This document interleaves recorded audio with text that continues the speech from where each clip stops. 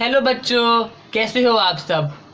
तो बच्चों, मैं देख रहा हूँ कि हमारा इस ग्रुप पे स्टोरी पढ़ने का उत्साह धीरे धीरे कम हो रहा है।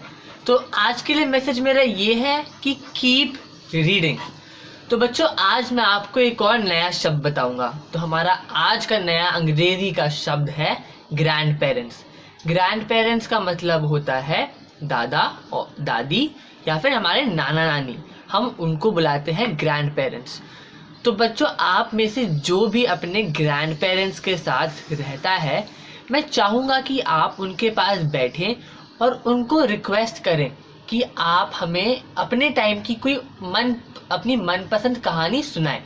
उस कहानी को रिकॉर्ड करें और उस कहानी को अपनी नोटबुक में भी लिखें। मैंने अपने सर्दियों की छुट्टियों में अपने दादा से एक कहानी सुनी थी। और मुझे वो कहानी सुन के बहुत मज़ा आया था। मैं वो कहानी आप लोगों के साथ शेयर भी करूँगा हमारे ग्रुप पे। और बच्चों, अगर आप अपने दादा दादी के साथ या नाना नानी के साथ इस लॉकडाउन में बैठेंगे तो उनको भी बहुत अच्छा लगेगा कि आप उनके साथ टाइम स्पेंड कर रहे हो। तो बच्चों हैव फन बाय